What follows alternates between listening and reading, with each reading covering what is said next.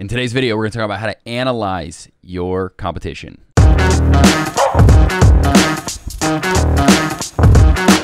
What's up, fam? Welcome back to the show. I'm your host, CMH, founder of Startup U.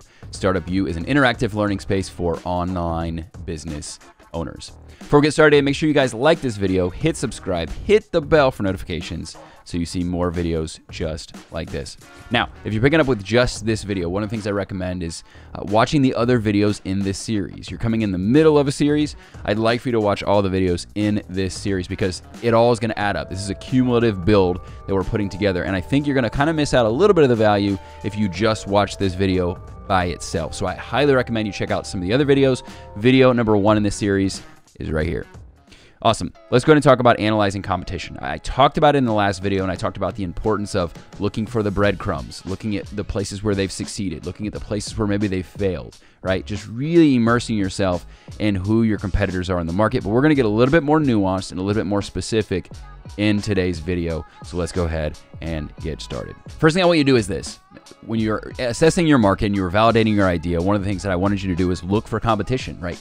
not having competition in your market is not a good thing. Prior to contrary or prior to popular belief, rather, uh, it's not a good thing. It's actually a bad thing. It means that there's probably a reason. It's the year 2020 at the time I'm recording this, with like 48 hours left in 2020 before we enter into 2021.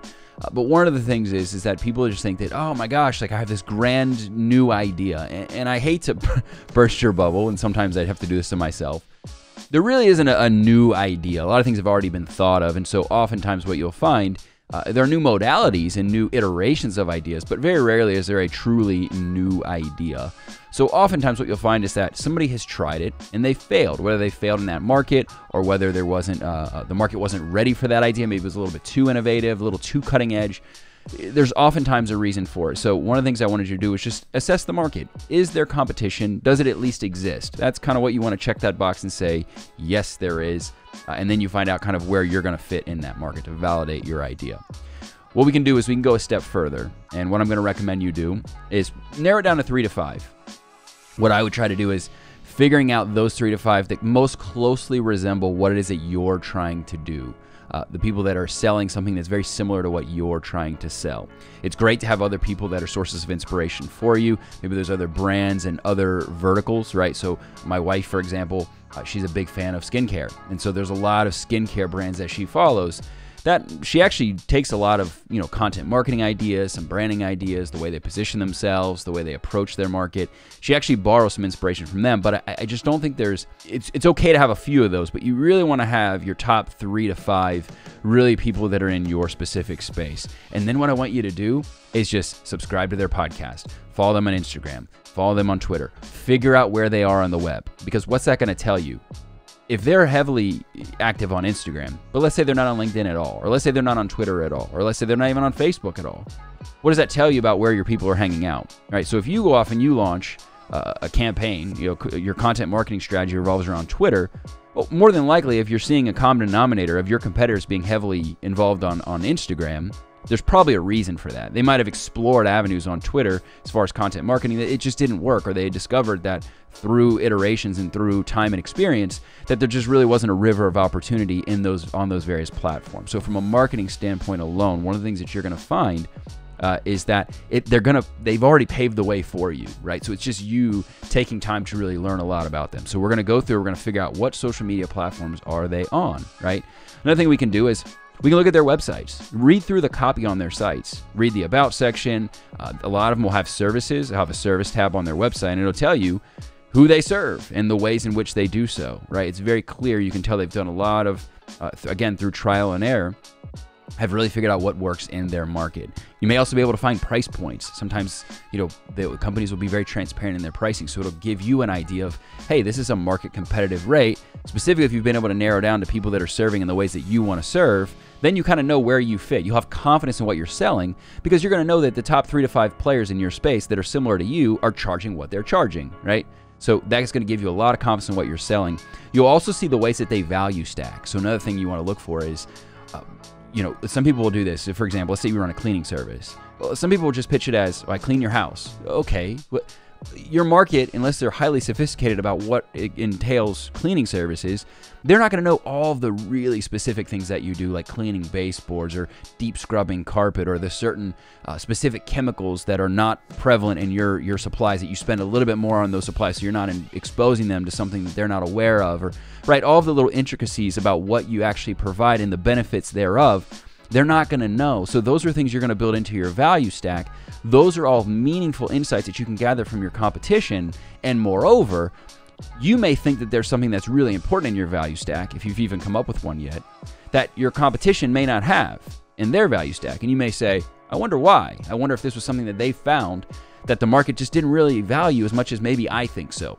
One of the biggest mistakes that I see when people are trying to validate their idea and their offering and what have you is they think that what they're selling is cool. It's cool to them, but they don't know that it's cool to everybody else. And moreover, they don't know if people are willing to pay for it. The market can tell you they think something's a great idea, but when it comes down to it, the dollars and cents are what speak, right? What following your competition is going to tell you what going through even in some cases being a phantom customer right and, and actually going through their sales process right actually going through and going through their funnels, right? Buying one of their products, even if it's a mini course, looking at how they stack their their their value ladder, right? All those various things are going to be worthwhile investments for you because you're going to be able to gather uh, so many meaningful insights. It's, it's taking years of experience and being able to put it right down in front of you and being able to analyze it in accordance with that. So these are all valuable things, and I want you to do so with your detective hat on right? Don't just look at it at face value. Look at the aesthetics. Why did they, you know, what are the pictures that they chose to use, right? Well, again, what are the words and the verbiage that they use on their various sales pages or even on their website in general, right? And there's not to say they did it perfectly.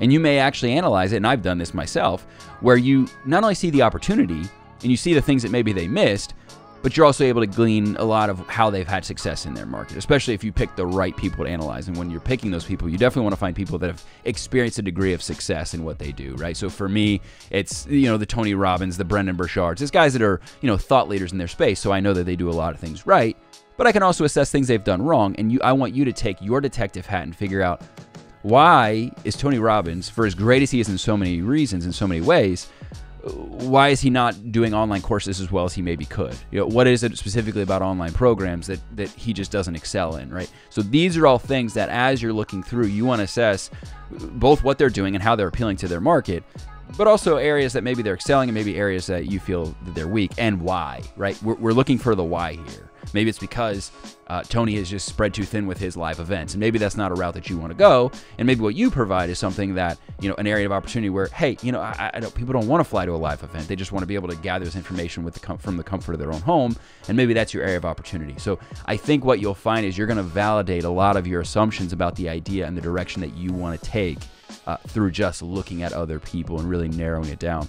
Moreover, when you watch their content, when you listen to their podcast, when you go through their YouTube channel, when you look at their Instagram content or their Twitter or wherever it is they're hanging out, uh, you're going to also find out a lot of them will share in the journey, right? They're going to share meaningful insights about things that they've learned, things that they've tried. Uh, maybe they, they really tried Facebook ads and it just didn't work for them, right? Or, or and that's just a random example. Uh, maybe they tried, um, you know, an interview platform for their podcast and they didn't find that to be very successful and they've shifted in that direction. So sometimes if you just listen to their content and you become a super fan of what they do, really understanding the market, right? You may learn uh, that there's just some things that you wouldn't have learned otherwise unless you were immersed in listening to their content and following their things. The way you should look at it is this your competition can be much the same as a digital mentor, right? You can totally analyze them. You can totally learn a lot of things just as much as you could from somebody giving you those insights yourself. The other thing you can do, and this is something that's going to be a little bit of a pro tip, is you may find that a certain competitor that you follow, that you've analyzed, that you've become a customer, that you've bought their programs and gone through and you've you've funnel hacked them, right? You may find that there's an area of opportunity for you guys to have a synergistic relationship, meaning you could actually partner with these these people uh, in a way. And I, I, know you're probably already like, oh God, what my competition? No way, I would never do business with my competition. Here's the deal: if you see the opportunity that maybe they're missing out on, let's go back to that Tony Robbins example, right? You may say, hey, look, Tony, I'm doing this thing in the online space with programs.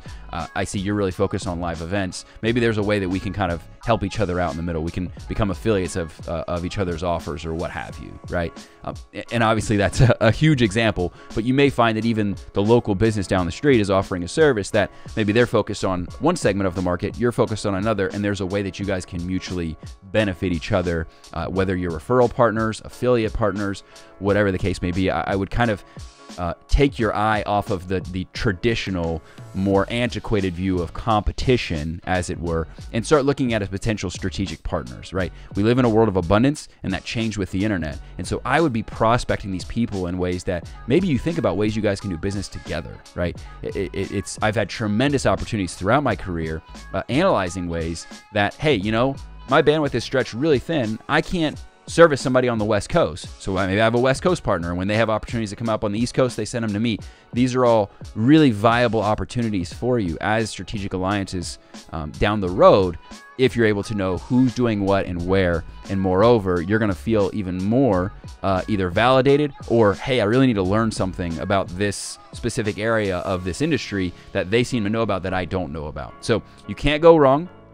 I would start with websites, start with social media, absolutely become a customer, listen to their podcasts, listen to their YouTube channels, really just immerse yourself in what they're doing specifically. And if you can have a conversation at any point in time with their founder or whomever uh, in a way that is meaningful, right? You're delivering value, not just seeking out advice or seeking out wisdom, but really delivering value uh, or at least seeking a, a mutual exchange of value. I think one of the things you're going to find is that it may blossom into something that becomes an avenue for additional revenue for you or or a collaborative opportunity for you to get your foot in the door in that specific industry.